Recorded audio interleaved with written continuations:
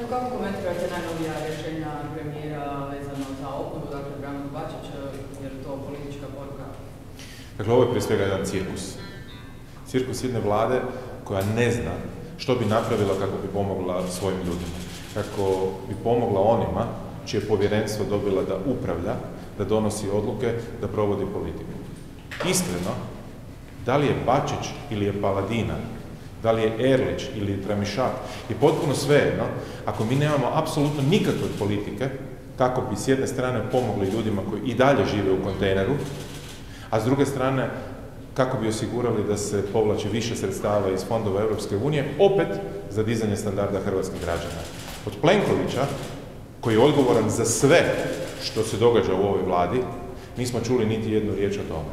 Ali smo čuli od njegovih ministara, doduše bivših, da ništa nisu mogli sami poduzeti jer za to nemaju odrešene ruke. Sada je potpuno jasno da je kočničar svega onoga što se u Hrvatskoj treba pomjeriti na bolje jedino i isključivo Andrej Plenković. Crno na bijelo je to rečeno. On zaustavlja sve kao što je svojedobno zaustavio onu zdravstvenu reformu za koju smo, koliko je sad prošlo, dvije godine čuli da čuči u njegovoj ladici. Do dana današnjeg, do dana današnjeg po tome nije ništa napravljeno. I tako je nebitno. Bačić, Paladina, Erlić, Tramišak.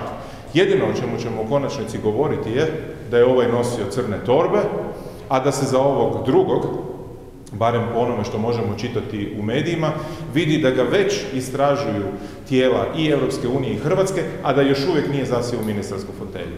E to je realnost HDZ-ove vlade koja hrvatskim građanima neće donijeti apsolutno ništa dobro. Vi dakle ne vjerujete da će Bačić kao neko koji ima stranačku težinu i autoritet pa i neko iskustvo moći pokrenuti ovaj e, proces e, obnove Banije ili ga dinamizirati kako to kaže Bačić je već jednom bio ministar kada nije trebalo provoditi proces obnove, nekih godinu i pol ako me sjećanje ne vara, čega se pozitivnog iz njegovog mandata možemo sjetiti? Ničega. Sada dolazi puno, puno teže okolnosti, a jedan je od onih koji je u Hrvatskom saboru kontinuirano glasao protiv svih onih prijedloga koje smo upućivali kako ubrzati proces obnove. Evo samo jedan primjer. Samo jedan primjer.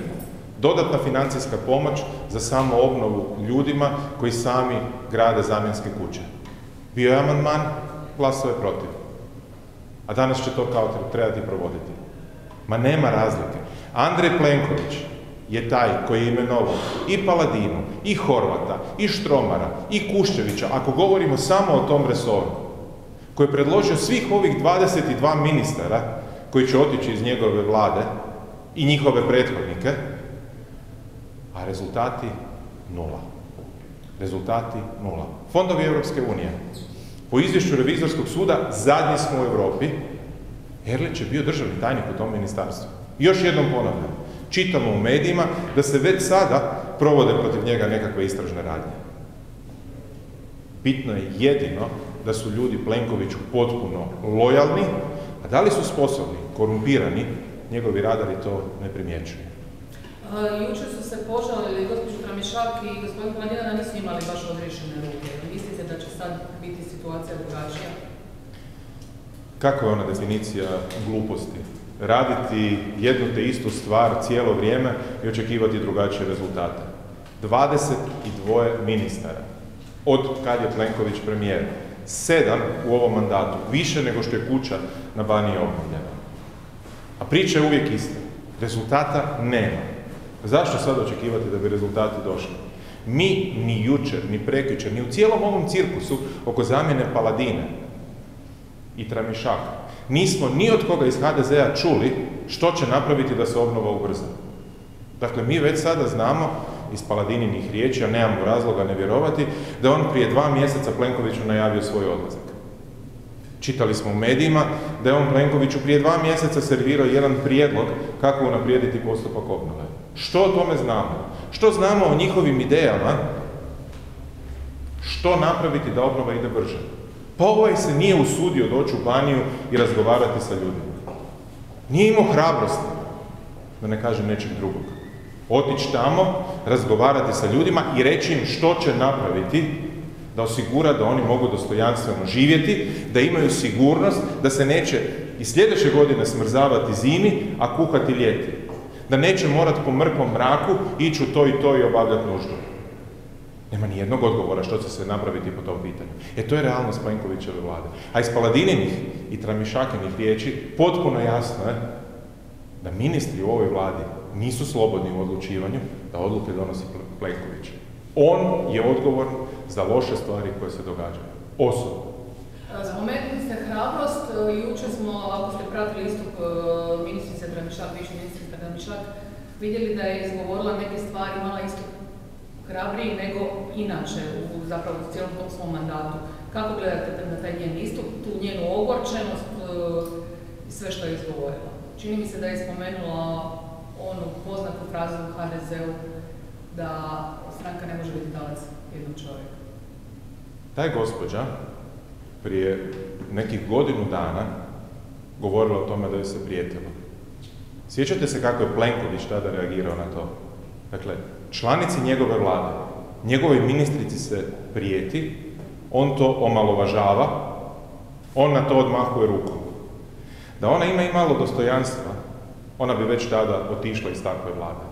I jasno i glasno rekla što se to dogodilo, a mi bi od državnog odvjetništva čuli što su po tom pitanju napravili.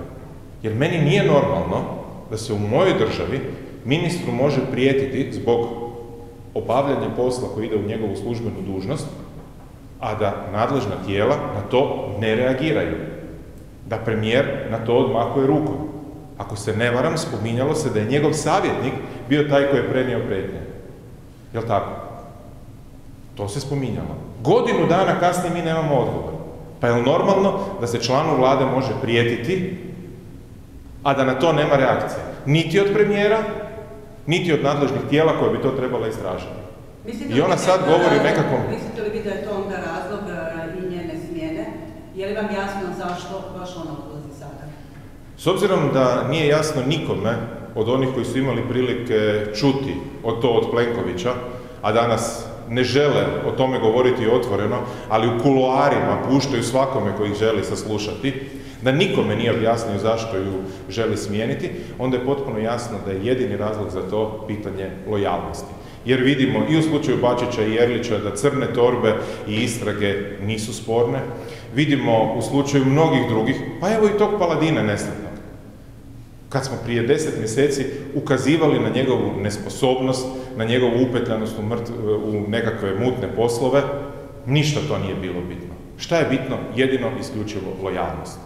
Traži se poslušnost, traži se lojalnost, traži se osobe koje će i dalje pristati na to da imaju zavezane ruke, da ne traže ništa, da ne rade ništa, da sjede u ministarskoj fotelji i to si mogu kao recku biografiju navesti ili ili, u gorim slučajevima, tu poziciju iskoristiti da se dodatno obogate, pa će i oni završiti sutra ili preksutra kao Horvat, Aladrović, Tolušić, Žalac, Kuščević i svi drugi koji se ne mogu niti sjetiti koliko ih ima, protiv kojih se u ovom trenutku vode kazneni postupci.